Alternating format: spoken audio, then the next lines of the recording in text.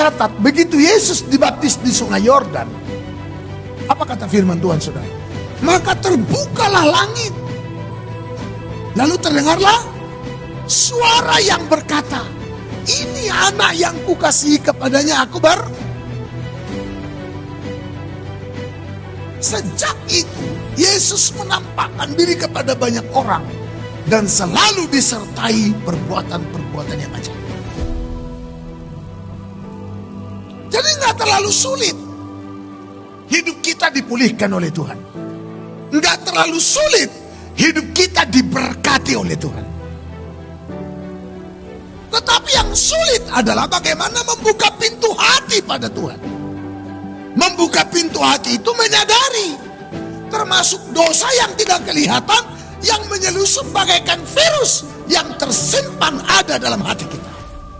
Kita perlu ada pemberesan hari ini. Karena Tuhan ingin melakukan hal-hal yang ajaib dalam hidup kita. Kau jadikan ku milikmu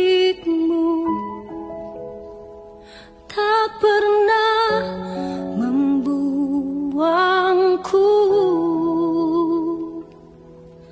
Kasih dan sayangmu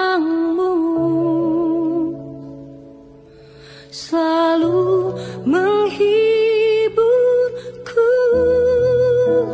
Di pelukmu ku berlabuh. Di kakimu ku bersimpuh. Tak mampu ku jauh